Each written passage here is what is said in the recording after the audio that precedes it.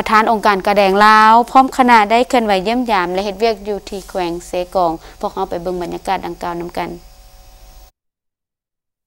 ประธานองค์การกระแดงแห่งชาติลาวพร้อมคณะ ได้เคลื่อนไหวเยี่ยมยามพบปะอบรมคณะพักพนักงานวิชาการอยู่องค์การกระแดงแขวงเซกอง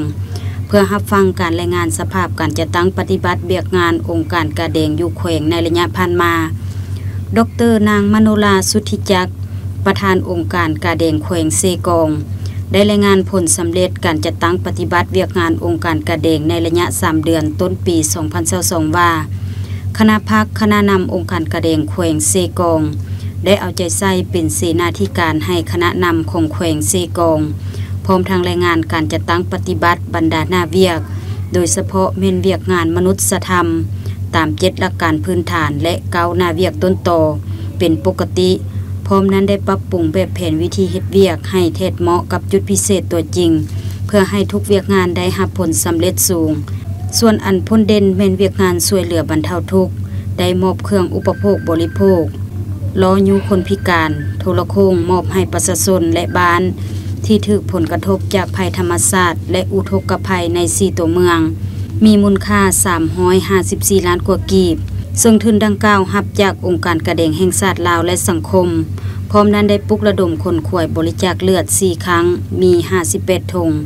พร้อมทางจัดกิจกรรมอบรมอาสาสมัคร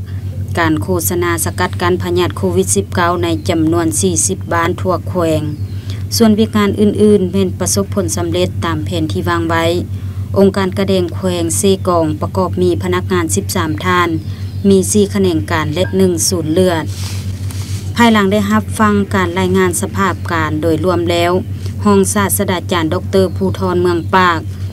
ได้แสดงความย่องยอสมเสยต่อผลสำเร็จของเขตเวียกงานกระเดงแขวง พร้อมทางอบรมพนักงานการนำวิชาการในองค์การดังกล่าว ให้เอาใจใส่เคลื่อนไหวหน้าที่เวียกงานตามพระบทบาทสิทธิและหน้าที่ความรับผิดชอบให้มีผลสำเร็จ ปรับปรุงกงจักการจัดตั้งให้มีความเข้มแข็ง ติดพันกับการบรรจุซับซ้อนพนักงานให้เทศเหมาะกับนาเวียกตัวจริง มีการประสานงาน มีแบบแผนวิธีเฮ็ดเวียกละเอียด พร้อมทั้งมอบความรับผิดชอบให้บุคคล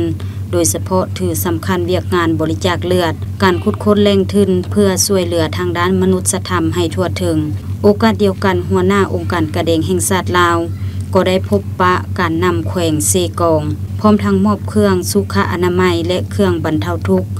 ให้ผู้ที่ได้รับผลกระทบจากโควิด -19 ตึมอีก